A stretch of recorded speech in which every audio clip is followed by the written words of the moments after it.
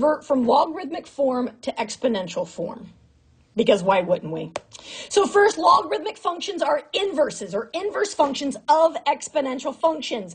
That mean one undoes the other right? We can kind of manipulate so that they kind of undo each other and we can rewrite one as the other. You, this is so fun. This is so fun. So to do that, we use our definition of logarithm. Why is my pen not working? Here we go.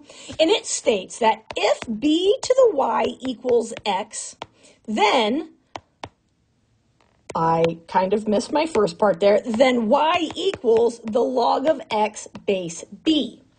And I tried to use the right terminology there. b to the y power equals x, then y equals log of x base b. So one of the big things here to notice is that the base of the exponent is also the base of the logarithm. And remember that the base must be positive, must be greater than zero. And then this here we call the argument of a logarithm. And you'll notice that I always kind of look at it this way.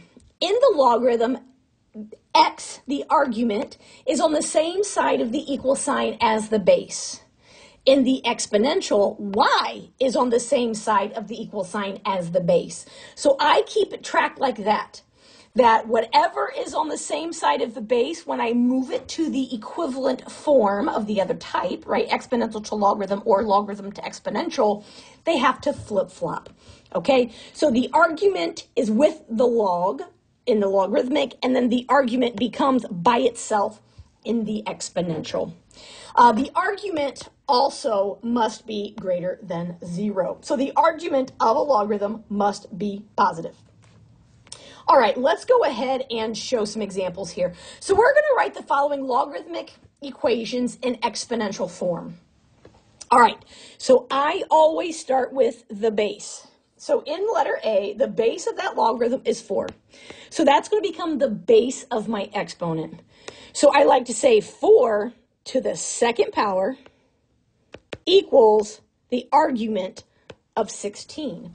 Now, I think it's easier to go from logarithmic to exponential because we know that 4 squared is in fact 16. That is a correct statement. If I had written this um, to be 4 to the 16th equals 2, we know that mathematically that's not correct. So that doesn't make sense. So it's important that we start with the base, make the base your same exponent, right? The base is the same in exponential and logarithmic form. So 4 squared is 16. Okay. Let's look at letter B. The log of 216 base 6 equals 3. Okay, so the base of the logarithm is 6, so that becomes the base of my exponential.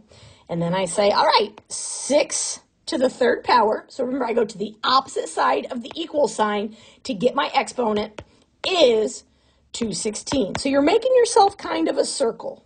Um, so 6 to the third equals 216.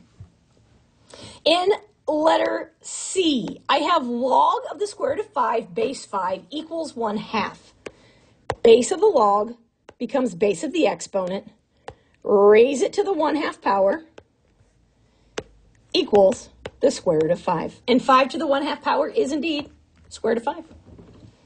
In letter D, base of 3, raise it to the third power, equals 27. If you are a visual learner, put these arrows down, right? Write it down and put the arrows down. Now, in letter E, you're going to notice that there is no base given here. If you have a logarithm, an LOG logarithm, and there's no base given, it is automatically a base of 10. We call that a common logarithm.